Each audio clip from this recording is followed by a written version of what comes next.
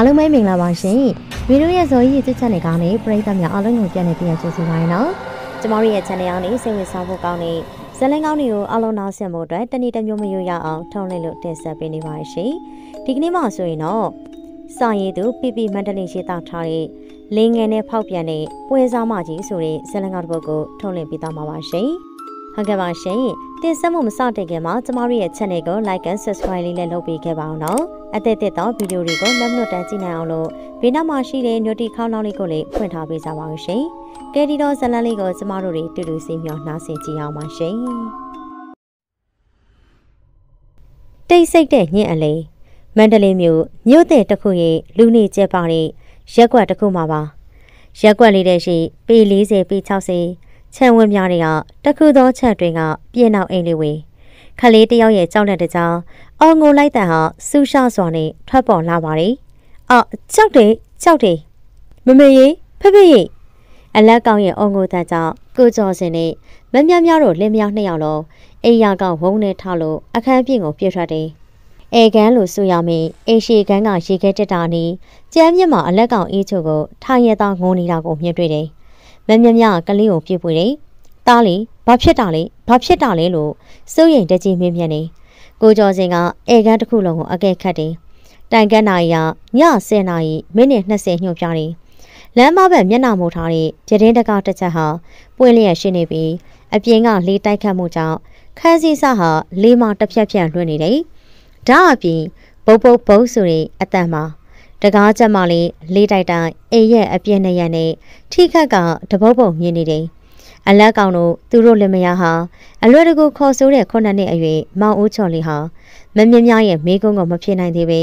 ပိုးရသားရှိတဲ့ပြတင်းတကားဝါကိုဗဇက်ဟောက်လောင်းနဲ့လှိမ်ညိုထိုးပြတယ်။အေးချိုလေးအောင်ထိတ်လန့်ခြင်းအံ့ဩတုန်လှုပ်နေခြင်းစားတဲ့ခံစားမှုတွေရောပြောပြီးတော့အကြောက်လွန်နေဟန်တူပါတယ်။ကိုကျော်စင်ပရင်းဝါကိုသွားလို့အပြင်ဘက်ကိုကြည့်လိုက်တယ်။အပြင်ဘက်မှာလည်းထူးခြားတဲ့ပုံရိပ်ကိုရှာမတွေ့ပိမ့်ပိမ့်မှောင်နေပါတယ်။ အပြင်မှာဘာမှမရှိကြောင်းမမြမြဘက်ကိုလှည့်ပြီးခေါင်းကိုခါရမ်းပြလိုက်တယ်။တားလက်မောင်အေးချိုကိုအပြင်မှာဘာမှမရှိပါဘူးတားရဲ့ဒီလိုနှိမ့်သိမ့်ပြောဆိုပြီးကိုကျော်စင်ဟာပြတင်းတကားကိုပိတ်လို့ဂလန့်ထိုးလိုက်တယ်။မမြမြရဲ့ရင်ခွင်တွေကအေးချိုလေးဟာတရှုပ်ရှုပ်ငိုရင်သူမြင်ခဲ့ရတာတွေကိုရှီချောင်းမြင်ချောင်းအတင်းငင်းဆိုတယ်။ရှိတယ်ရှိပါတယ်။အဲ့ဒီနာမှာခုနမြင်လိုက်ပါတယ်ဆိုနေအေးချိုလေးရဲ့ဆက်ကားကြောင့် မမြမြရောကိုကျော်စင်မှကြော်ချမ်းသွားတယ်ကြက်သိန်းထသွားတယ်ကလေးကဘာကိုမြင်လို့ရှိပါတယ်လို့အကြမတ်ကြပြောဆိုနေမှန်းသူတို့လည်းမရမသိဘူးသူတို့လူကြီးနှစ်ဦးရဲ့မျက်လုံးတွေဟာအေးကြိုလက်ညှိုးထိုးပြတဲ့ပြတင်းဝါစီကိုသာမရဲတရက်ကြည့်လိုက်တယ်ပရင်းပေါက်မှာခန်းစီလိုက်ကားစာအပြာရောင်လေးကတကားပိတ်ထားပေမဲ့တကားကြားကလေးကြောင်တက်လွင်လွင်ပြတင်းတကားမှန်ရဲ့အပြင်မှာအမောက်တို့ဟာတိတ်တိတ်တဲတဲမှောင်လျက်ရှိပါတယ် ကိုကျော်စင်ဟာတားမိနှစ်ယောက်နီးကိုရှောက်လာတယ်။တားကဘာကိုမြင်တာလဲ။ပြီးတော့ညဘက်ကြီးအိမ်ခန်းနဲ့ဘာလာလောက်တာလဲ။တားကရေးစားလို့ရေးတောက်ဖို့ဆက်လာတာ။တားရေခဲတက်တာဖွင့်နေတော့ဘုံကနေအဲ့ဒီပဒင်းပေါက်ကြီးကပွင့်သွားလို့လှည့်ကြည့်တော့အေးချိုလေးဟာပဒင်းပေါက်ကိုမကြည့်ရဲလို့တာနဲ့ကြောက်ရွံ့စွာနဲ့မမြမြရင်ခွင်ထဲကိုတိုးဝင်နေ။ကောင်းစုပ်ဖွားကြီးနဲ့မျက်နှာဖွေးဖွေးကတားကိုစိုက်ကြည့်ရ။မေမေတို့ရောက်လာမှပဲအဲ့ဒီကောင်းစုပ်ဖွားကြီးကပျောက်သွားတာ။ ကလေးကိုဖွေးဖက်ထားတဲ့မမြမြကကိုကျော်စင်ကိုရှင့်ကိုကျမမပြောဘူးလားဆိုရင်အမှုရတက်ဝင်နေမျက်လုံးနဲ့ကြည့်ပြီးမေးကိုဆက်ပြတယ်။ကိုကျော်စင်ကကလေးကိုအရင်သွားပြီးချော့သိပ်ဖို့မျက်နှာရိပ်မျက်နှာကဲပြလိုက်တယ်။မြမြကလေးကိုသူ့အခန်းခေါ်သွားပြီးချော့သိပ်လိုက်တော့အကိုအပြင်ဘက်ကိုဆင်းကျင်အောင်မေးမမြမြလေးအေးချိုလေးကိုရင်ခွင်နဲ့ထွေးပွေသွားတယ်။ကိုကျော်စင်ကအိမ်တကမကိုဖွင့်လို့ခြံထဲကိုဆင်းကြည့်ရင် အပြင်ဘက်မှာထူးခြားတဲ့လက္ခဏာတစ်ခုမှမမြင်တွေ့ဘူးဒီနှစ်ထပ်ပြင်အောင်အိမ်လေးမှာအပေါ်တက်ကအခန်းမှာသမီးကြီးစုတန်နဲ့အလက်ကောင်တာလက်အေးချိုလေးတို့ဟာအခန်းတစ်ခန်းထဲမှာမောင်နှမနှစ်ယောက်အတူအိတ်ကြတယ်အောက်ထက်ကအိတ်ခန်းမှာကိုကျော်စင်းတို့လက်များနဲ့တူအငယ်ဆုံးသမီးငယ်လေးနှစ်အရွယ်ဤသက်တို့အတူတူအိတ်ကြတယ်ကိုကျော်စင်းနဲ့မမြမြတို့လက်မယားမှာတာမဏိ၃ယောက်ရှိတယ်ကိုကျော်စင်းတို့ဒီအိမ်လေးကိုပြောင်းလာကြတာတလားမပြည့်သေးဘူး ကိုကျော်စင်ဟာစာပုံနှိပ်တိုက်တစ်ခုမှအလုံးလုံးတယ်။ပုံနှိပ်တိုက်တတိယသူဝယ်ထားတဲ့ဒီအိမ်လေးမှာအဆောက်အနေသဘောနဲ့ကိုကျော်စင်တို့မိသားစုနေထိုင်စေချင်ပါအိမ်လေးထဲမှာပရိဘောကရေမီအပြည့်စုံပါတာနဲ့ကိုကျော်စင်ဟာတထင်းကိုအလွန်ပဲကျေးဇူးတင်နေ။ဒါပေမဲ့ဒီအိမ်လေးရဲ့ရာဇဝင်ကိုကိုကျော်စင်းတို့လင်မယားကဂကနာနာမသိဘူး။မနက်မိုးလင်းတာနဲ့ကိုကျော်စင်းကပုံနှိပ်တိုက်ရှိတဲ့မြို့လေကိုစိုက်ကင်းနဲ့ထွက်သွားတယ်။ အလုတ်သိမ်းချိန်ညနေ9နာရီဆိုပေမဲ့ကိုကျော်စင်ဟာတထေးရဲ့လူယုံမန်နေဂျာသဘောဖြစ်တာနဲ့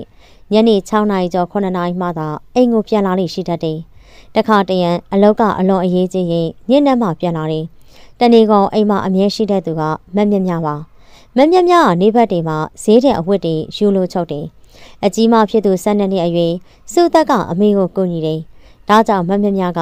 တနေ့ဆက်ချုပ်က8000နဲ့တက်တောင်းကြပုံမှန်ဝင်ဝင်ရှိတယ်။ အလက်ကောင်ကိုတိတ်ခဲ့ပြီးမက်မြက်မြဟာအောက်ထက်ကသူမတို့ရဲ့အခန်းကိုပြန်ရောက်တယ်။မက်မြက်မြကခင်မောတဲ့ကိုကျော်စင်ကိုအကိုကျမပြောပါတယ်။အကိုကကျမစကားမှမယုံတာ။မယုံတာတော့မဟုတ်ပါဘူးမြက်မြရဲ့။တထေးကြသွားရင်အကိုတို့တမျိုးအထင်လွဲပြီးနှင်ချမှဆိုလိုပါ။တထေးကဒီလိုကိစ္စတွေအယုံကြည်ရှိရမဟုတ်ဘူး။ပြီးတော့မြက်မြပဲစဉ်းစား။အကိုတို့မိသားစုအပြင်မှာအိမ်ကနေရမယ်ဆိုရင်အ ਨੇ စောနှိမ့်ဝက်စာစပေါ်တင်ရမယ်မဟုတ်လား။ ကလေးတွေကြောင်းစိတ်ကလည်းရှိသေးရဲ့။ဒီအိမ်လေးကလက်ရှိချိန်နေမှာအကိုတို့မိသားစုအတွက်အဆင်ပြေနေရကြောင်းမမြမြနားလေဟန်နဲ့အကိုပြောတာကျမသဘောပေါက်နားလေပါတယ်ဒါပေမဲ့ဒီအိမ်မှာတရေတက်စီများရှိနေမလားမသိဘူးကျမကလေးတွေအတွက်စိတ်ပူလို့ပြောနေတာကိုကျော်စင်ဟိုကနေတက်ပြင်းလေးလံစွာနဲ့ချလိုက်တယ်မမြမြပြောတာကိုလေသူ့အလေးထားတယ်မိမိရင်သေးလေးတွေဒုက္ခဖြစ်ရမယ်အကျိုးဆက်ကိုတော့သူ့လည်းမလိုလားဘူး မမြမြကဒီအိမ်ရဲ့ထူးခြားချက်ကိုကိုယ်တိုင်ခန်းစားခဲ့မှုတယ်ဒီဖြစ်ပျက်လည်းမကြသေးပူပူနွေ့နွေ့ပဲရှိသေးရင်ပြီးခဲ့တဲ့ကြာသာပရိနေ့နေ့လည်ကင်တကုတ်မှာတမီးကြီးနဲ့တားလက်ကောင်တို့ကြောင်းသွားနေကြတော့မမြမြဟာအငယ်မလေးကိုချော့တဲ့ရင်သူ့မပါအိပ်ပြောတယ်မမြမြဟာအိမ်မက်ထဲမှာလို့လို့အပြင်းမလို့လို့သူမရဲ့ဘေးမှာလူတယောက်မတ်တက်ရက်လို့စောက်ကြည့်နေတယ်လို့ခန်းစားလိုက်ရတယ် သူမဟာရေထဲရောက်နေသူလိုမျိုးအမြင်အာရုံလေးဝါတတဖြစ်နေတယ်အရာအလုံးကိုတဲခဲစွာမမြင်ရဘူးဒါပေမဲ့ဒီလူဟာယောက်ျားကြီးတအုပ်ဖြစ်ကြောင်းသူမအနီးကိုတိုးကပ်လာလို့သိလိုက်တယ်။မျက်နာကဖြူဘက်ဖြူရောဖွဖွကြီးစပင်းရှည်တွေကဖွာလန့်ကျင်းနေတယ်။ရှည်လျားတဲ့ထိုးဆန်းစအချို့ဟာထိုလူကြီးရဲ့မျက်နာပေါ်တွဲလဲကြားလျက်ရှိတယ်။သူမမျက်လဲရတဲ့ထိုသူရဲ့မျက်စံတွေဟာအဖြူတက်တက်အနက်တစ်စက်မှမပါ။ မျက်နှာပေါ်မပေါ်တဲ့မျက်နှာတစ်ခုပါ။မကောင်းဆိုးဝါးတကောင်ဖြစ်လိမ့်မယ်လို့တထစ်ချယုံလိုက်တယ်။တေးကြတာကအသက်40ခန့်ထိုလူကြီးဟာသူမကိုဆူဆူရဲရဲစိုက်ကြည့်နေချင်မှာထိုအကြီးကသူမကိုမလိုလားဟန်မရှုစိတ်ဟန်မုတ်တီးနေရအပြည့်ဖြတ်တယ်ဒီမကောင်းဆိုးဝါဟာသူမကိုအန်ရပြုတ်လို့ဟန်နေလက်နှစ်ဖက်ကိုရှေ့ဆက်တန်းပြီးတော့တိုးကတ်တယ်ဖွေးစွစွမျက်နာကြီးကသူမထံကိုပြိုလဲငိုက်စင်နေအရေးတရံမကွဲပြားတဲ့လက်နှစ်ဖက်ဟာ သူမရဲ့လှဲပင်းစီကိုတရွရွပုတ်တက်လာနေပြီလက်နှစ်ဖက်လို့ဆိုရမှာဘယ်လက်တစ်ဖက်ကလည်းပုံမှန်ဖြစ်ပြီးကြံညာလက်တစ်ဖက်ဟာတထောင်စစ်ကဒုံတိတိပြတ်နေတဲ့လက်ပြက်ကြီးပါတို့လက်တစ်ဖက်ပြက်ကြီးရင်ရေခဲတမျှအေးဆက်တဲ့အထီးအတွေ့ဟာသူမကိုပိုးလို့ထိတ်လန့်စေရင်မြင်းမြဟာသူမကိုသူမအတင်းလှုံလို့တယ်ပါဇက်ကတဝဝတဝဝနဲ့အတန်ထွက်နိုင်မှုစူးစမ်းဟစ်အော်တယ်အတန်ကထွက်မလာဘူးလေချောင်းဝမှာတစ်ဆုပ်ပြီးပျောက်ကွယ်သွားတယ် မမြမြဟာနောက်ဆုံးအနေနဲ့မျက်စောဖះကိုအာရုံပြုပြီးအတင်းမိန်ရုံးကန်အတန်ထွက်လိုက်တယ်။ဖះဖះမကြခင်မြမြအိန္ဒိယကနိုးလာပြီးဂတိမောင်ငုတ်တုတ်ထားထိုင်လိုက်နိုင်ပြီဖြစ်တယ်။ဒီအခါအရေးကြီးဟာသူမရဲ့အခန်းထဲကလင်းမြတ်စွာထွက်ပြေးသွားတယ်။ထွက်ပြေးသွားတဲ့အရေးမဲကြီးရဲ့ကြောပြင်ကိုသူမအသေးအချမြင်တွေ့လိုက်ရတယ်။ချက်ချင်းပဲမမြမြဟာအရေးမဲကြီးထွက်သွားရကိုပြေးလိုက်သွားတယ်။ ဒါပေမဲ့ဒီအရေးမဲကြီးကိုအခန်းအပြင်ဘက်အိမ်ရှိကန်းကိုရှောက်တဲ့အခါလုံးဝမမြင်တွေ့ရတော့ဘူး။အိမ်ရှိကန်းမှာမတ်တက်ရက်နေရင်မမြမြတယောက်ကြက်သိမ်းမှုညင်းနေထားလျက်ကြောချနေဖះဖះငါမြင်လိုက်တဲ့ဟာကြီးကဘာကြီးပါလိမ့်ဒီအိမ်မှာမကောင်းဆိုးဝါးတွေများရှိနေရလားညံ့ညကြာကြာစဉ်းစားချိန်မရအခန်းထဲကအငယ်မအိယာကနှိုးလာပြီးမင်းမေးလို့အော်ခေါ်နေရနဲ့ပြေးသွားလိုက်ရတယ် ဒီရဲ့အကြောင်းကိုမမြမြကကိုကျော်စင်းကိုပြောပြတဲ့အခါကိုကျော်စင်းကပက်လက်လန်အိမ်လို့ဘလူးစီးသလိုဖြစ်တာနေမားလို့ထင်ချင်းပြီးရင်မမြမြကဒီရဲ့အကြောင်းကိုဆက်ပြောလို့တော့လေကိုကျော်စင်ဟာမကြဟန်ပြတာနဲ့ဆက်မပြောဖြစ်တော့ဘူးအခုကတားလက်အေးချိုလေးအချောက်ခံရမှမမြမြမြင်တွေ့ခဲ့ရတော့အိမ်မက်မဟုတ်ကြောင်ထင်ရှားတယ်။ဘာကြောင့်လဲဆိုတော့အေးချိုလေးပြောတဲ့မကောင်းဆိုးဝါပုံတံတန်နဲ့သူမမြင်ဘူးတဲ့မကောင်းဆိုးဝါတံတန်ကထတ်တူနေရမဟုတ်ပါလား။ ကိုကျော်စင်အိမ်ရောက်တော့ရောက်ရောက်ချင်းဆိုင်ကယ်ကိုဘေးထောက်ထားလို့ပြာတိပြာရအိမ်ထဲကိုပြေးဝင်နေအိမ်ရှိကကွက်ပြစ်ပေါ်မှာသမီးကြီးစစ်တပ်ကပက်လက်လန်လဲရောက်နေပြီးသမီးကြီးရန်ဒီမှာအိမ်နေချက်တချို့နဲ့ဇနီးဖြစ်သူမမြမြကိုတွေ့လိုက်တယ်မမြမြကအငယ်မလေးဤတက်ကိုချိပွေတယ်အလက်ကောင်အေးချုံလေးဟာဖက်အေးပြန်လာတာမြင်တာနဲ့ပြေးလာပြီးတော့ဖတ်တယ်ကိုကျော်စင်ကသမီးရဲ့ချင်းလေးကိုကြည့်ပြီးဘာကဘလို့စဖြစ်တာလဲလို့ဥစွာမေးခွန်းထုတ်တယ် မမြမြကဖြစ်ကြောင်းကုန်စင်သူမရဲ့ခင်မုံဖြစ်သူကိုရှင်းပြတယ်ကျမကနောက်ဖေးမိဖို့ကြောင့်မှညနေဆောင်တွေချက်ပြုတ်နေရသူတို့မောင်နှမ၃ယောက်ကအိတ်ရှိကမ်းမှာပေါ့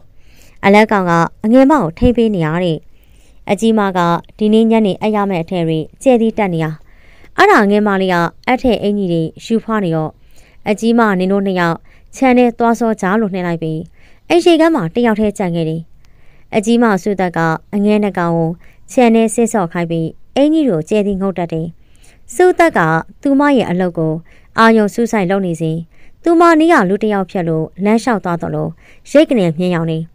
သူမခေါင်းကိုကျဲသီးတက်နေရကခေါင်းကိုမော့ကြည့်ရင်စုသက်ကကိုပြက်ပေါ်မှာကျဲသီးတက်နေခြင်းမှာသူမရဲ့ရှေ့တက်တဲ့မှာဧကန်းတပ်ဖွေစက်တီထိုင်ကုန်လေးလုံးရှိတယ်တစ်ဖက်တစ်ချက်စီမှာထိုင်ကုန်နှလုံးစီချထားပြီးအလင်းမှာတစ်သားလေးတောင်စပွဲငယ်ရှိတယ်။ဤသက်ကိုကြော်ပေးထားတဲ့ စက်တီထိုင်ကုန်တစ်လုံးမှာလူတယောက်ကြော်ပေးထိုင်တာမြင်တွေ့လိုက်ရလို့အံ့ဩသွားမိရင်ကြော်ပေးထားတဲ့လူကြီးဟာတုံတုံမြမလို့ကြောက်ရွံ့တဲ့ဖွေမလုံးမရှက်ကြီးထိုင်နေခြင်းမှာစုတဲ့စဉ်းစားမရဒီလူကြီးကဘဲချိန်နေရမြရှောင်းနေပါလေပေါ့အပြင်ဘက်မှာလည်းအငဲနှကောင်စော့ကစားနေတဲ့ကြားရတယ်ထိုကလေးနှစ်ယောက်ကခြံထဲဧည့်သည်ဝင်လာပါကမမေရင်ဧည့်သည်လို့အော်ခေါ်လိုက်မှာပါစုသက်ဇဝိဇဝဖြစ်သွားတယ်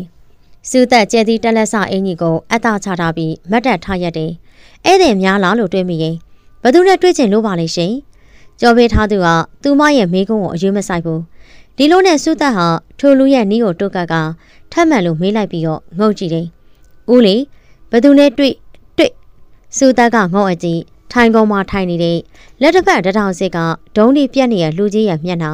ဖွေးဆဆုပ်ကြီးမောလို့လာတယ်။ကြောင်မဖွေးရကောင်းလာတဲ့ ထိုမျက်နှာဖွေးဆဆုပ်ကြီးကိုရုတ်တရက်မြင်လိုက်ရတဲ့စုသက်ဟာ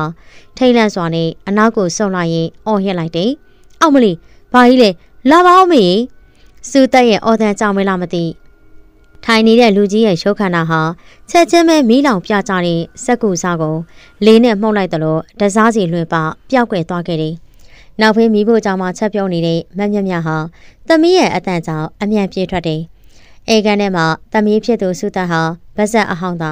မျက်လုံးပြူးကြောင်ကြောင်နဲ့အလွန်ထိတ်လန့်ကြောက်ရွံ့နေတဲ့ပုံတံကိုမြင်တွေ့တယ်။မက်မြမြကသမီးထံအပြေးသွားပြီးပူဖတ်တယ်။သမီးသမီးဘာဖြစ်တာလဲ။စုသက်ကဇကားပင်မစွနိုင်ထိုင်ကုန်ကိုသာလက်ညှိုးထိုးပြလို့ခွေခောက်က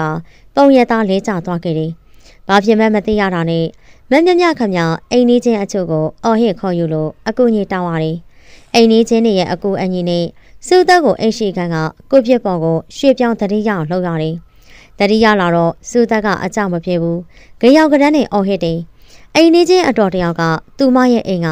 ပရဲရည်ကိုယူလာပြီးအခန်းထဲကိုလည်းလက်နဲ့အနှံ့တောက်ပေးသလိုထိတ်လန့်နေတဲ့စုသက်ရဲ့ခေါင်းမောက်ကိုလည်းစွတ်ပေးတယ်။ဗကန်လုံးနဲ့အနေငယ်ထဲလိုလည်းတိုက်တယ်။ဒီအခါမှစုသက်ဟာအတန်ငယ်ညှိတတ်တယ်။အမေနဲ့အိမ်နီနာချင်းလူကြီးသူမတွေကိုမြင်ရလို့ သူမကိုသူမလုံခြုံစိတ်ချရပြီလို့သဘောပိုက်လိုက်ဟန်တူပါတယ်။မမြမြရဲ့လက်ကိုစူသက်ကဖြည့်ညက်ဆုပ်ကိုင်းပြီးသူမမြစ်တွေ့ခဲ့ရတာတွေပြောပြတယ်။မမြမြဟာတမီးကြီးစူသက်ပြောသမျှနားထောင်လို့အကြိမ်ကြိမ်အံ့ဩနေရတယ်။အရင်ရင်ကနေသွားတဲ့အိမ်ရှင်တွေကဘာသာကြလင်မယားပင်ဤ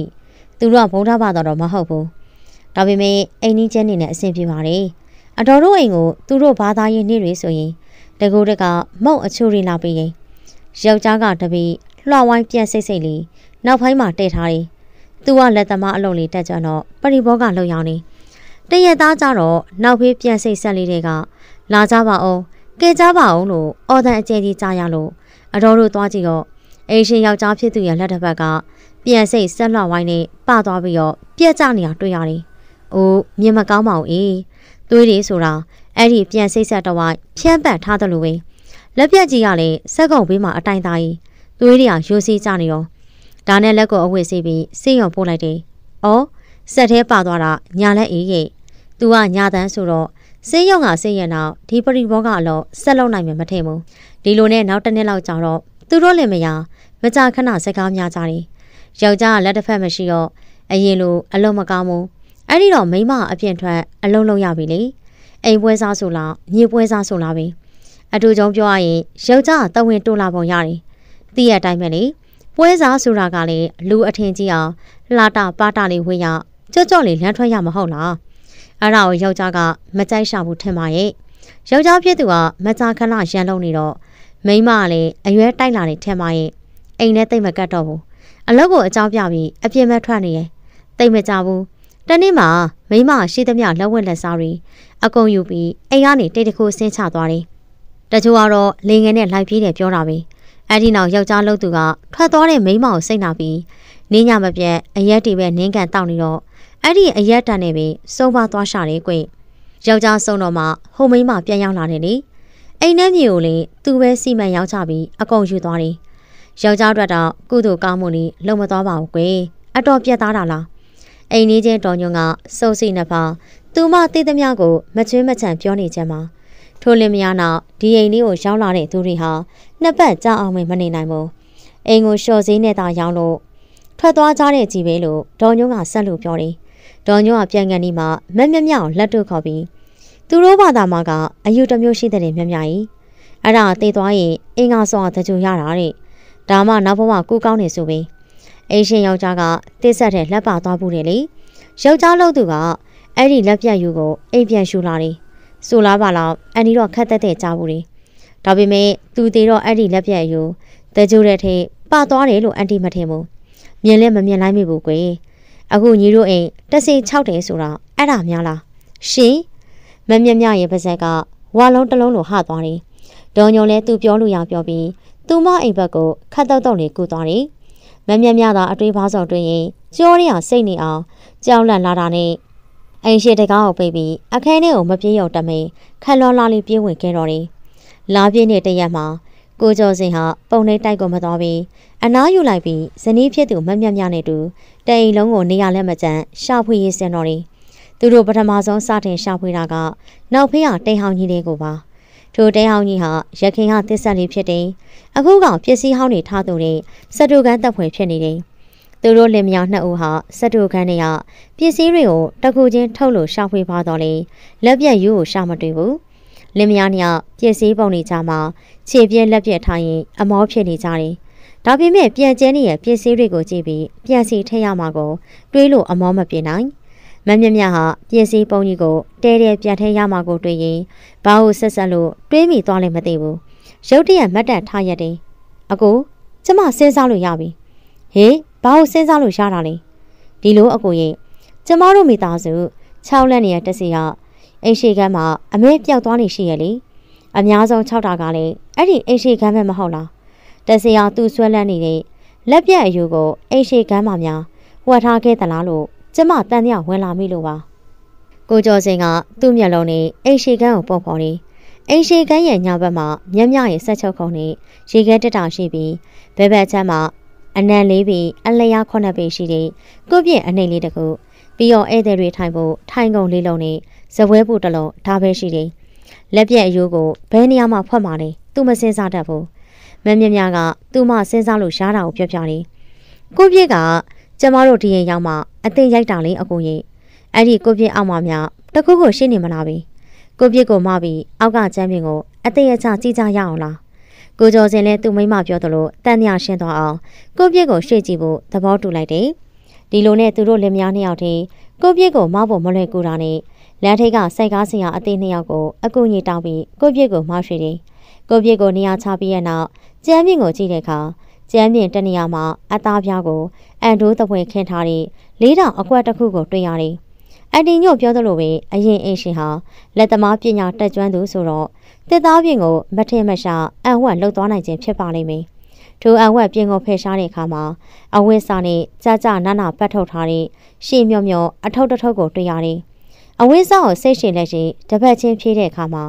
အထဲမှာပလတ်စတစ်နဲ့အလုံးပိတ်ထားတဲ့လူလက်ချောင်းလေးများပါလက်ဖြန့်ရုံတစ်ချောင်းကိုတွေးလိုက်ကြရတယ်။မမြမြဟာကိုကျော်စင်းကိုလှမ်းကြည့်ရင်ကိုကျော်စင်းဟာမမြမြရဲ့အကြည့်ကိုနားလည်သဘောပေါက်တယ် သူတို့မိသားစုကိုအကြီးအကျယ်အနှောက်ယှက်ပေးနေတဲ့တက်ဆေးရဲ့အဆွေဟာထိုလက်ပြတ်အယိုးစုကိုတိမိနေတာဟာတေချာနေပြီမဟုတ်လားအဲ့ဒီအချိန်အပြင်းမလေးမတိုက်ဖေးပြတင်းတကားရွက်တို့ဟာတပြောင်းပြောင်းနဲ့ရိုက်ခတ်ပြတယ်ဒါအပြင်သူတို့လင်မယားနဲ့လာပြီးကူညီတဲ့စိုက်ကားဆရာတို့ကြားလူတယောက်အတင်းတိုးဝင်ဝင်သွားသလိုလှုပ်လှုပ်ခတ်ခတ်လှုပ်ရှားမှုတစ်ခုဖြက်ကနေခန်းစားလိုက်ရတယ်။အိမ်ရနောက်ဘက်တန်းတဲ့ပစ္စည်းတချို့လေးလေးပြူတန်းရိုက်ခတ်တန်းတွေထွက်ပေါ်တယ်။ စိုက်ကားဆရာနှစ်ဦးဟာအဖြစ်ဆန်းကြောင့်အန်အော်ထိတ်လန့်သွားကြတယ်။ကိုကျော်စင်တပ်ပြင်းကိုလေးလန့်စွာနဲ့ချလိုက်တယ်။ထိုလက်ပြက်ကိုရက်ခဲနေထိုင်သွားတဲ့အိမ်ရှင်ဟောင်းရဲ့ဘာသာရေးထုံးစံတိုင်းတကြိုပေးဖို့နဲ့၎င်းတို့ဘာသာတိုင်းကုသိုလ်တစ်ခုလုပ်ပေးဖို့စောဖြတ်လိုက်တယ်။ကိုကျော်စင်နဲ့မမြမြတို့နေထိုင်နေနှစ်ထပ်ပြင်းအောင်အိမ်လေးဟာအခုအခါအေဂျင့်တာယာနေပါပြီ။လက်ပြန့်အယိုးစုကို၎င်းတို့ဘာသာရေးထုံးစံတိုင်းတကြိုပေးပြီးကုသိုလ်ကောင်းမှုလေးရည်စူးလောက်ကင်ပေးလိုက်ကြတယ်။ ဒါအပြင်ကိုကျော်စင်ရဲ့တတိကပတ်စံထုတ်ပြီးလို့ထိုးအိမ်လေးမှာတန်ဃာတော်တွေပြဖိတ်ခြင်းစိုးသင်္ကန်းတို့ကတ်လူကပရိတ်တရားတော်တွေရွတ်ဖတ်တတ်စေခြင်းမြေတန့်မင်္ဂလာတွေဆောင်ရွက်ခြင်းစားတဲ့လောကင်ရေးရာတွေကိုကုံစင်အောင်ပြုလုပ်လိုက်ကြသည်တတိကိုခွင့်တောင်းပြီးစတူကန်းတပ်ဖွဲ့ပြုတ်ထားတဲ့စက်တဲကြီးကိုလည်းဖြိုဖျက်လိုက်ပြီးဖြစ်တယ်ဒီနေရာမှာကွက်လက်လေးတစ်ခုအဖြစ်သာထားရှိလိုက်ပါတယ်အခုကမမြများနဲ့သားသမီးတွေဟာတဆေးရဲ့အနှောက်အယှက်ပေးခြင်းမခံရတော့ဘူး လွတ်လပ်အေးချမ်းစွာနဲ့နေထိုင်နိုင်ပြီဖြစ်ပါတော့တယ်ဟုတ်ကဲ့ပါကျမတို့ channel ကထုတ်လင်းပေးခဲ့တဲ့ဇာတ်လမ်းလေးကတော့ဒီမှာပဲပြည့်စုံပါပြီနောက်ရက်ဒီမှာလည်းစိတ်ဝင်စားဖို့ကောင်းတဲ့ဇာတ်လမ်းကောင်းတွေထုတ်လင်းပေးအောင်ပါမို့နောက်ဗီဒီယိုလေးကိုဆက်လက်စောင့်မျှော်ပြီးတော့အားပေးနာဆင်ကြပါအောင်အားပေးနာဆင်သူပရိသတ်များအားလုံးကိုချစ်စစ်တပါတယ်